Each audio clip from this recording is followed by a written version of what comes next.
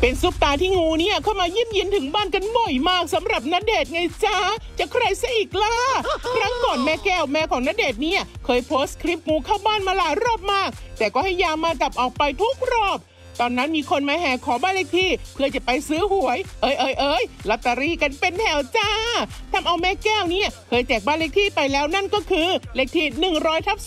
283 รอบนี้งูตัวเก่าเจ้ากรรมตัวดีมาอีกแล้วจ้า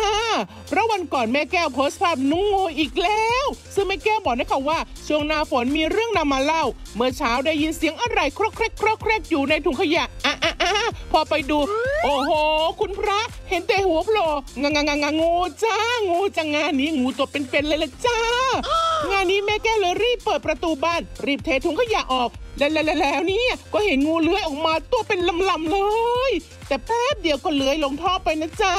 แต่เมื่อคืนแม่บ้านบอกนะคะว่า งูมาอยู่นานแล้วเห็นแทบทุกวัน และเดี๋ยวนี้ก็ไม่ค่อยเห็นหนูวิ่งมาอีกเลย สงสัยนางจะกินเรียบ ซึ่งเมื่อก่อนนั้นเนี่ยตัวเล็กกว่านี้เยอะ ตอนนี้โตแล้วละจ้า ส่วนแบรี่สามีของเดียนก็บอกแม่แก้วนะคะว่า ตัวนี้แหละครับที่เข้าไปอยู่ในตู้ถังแก๊ส ตอนนี้โตยาวเป็นเม็ดเลยเดดดเดียนเนี่ยเข้าใจนะคะว่าพี่งูเนี่ยคงอยากจะมาให้ชอบแม่แก้ว แต่แต่แต่สัพเพสัปตาอเวราหนตุอย่ามาเข้าบ้านเดียนเหมือนบ้านนัดเดชเลยนะจ๊ะเดียนกลัวแล้วจ้าอืมเห็นตัวเลขบ้านเลขที่แล้วงวดหน้าไม่พลาดแน่นอนจ้าขอให้ได้โชคนะจ๊ะพี่แบดจ้า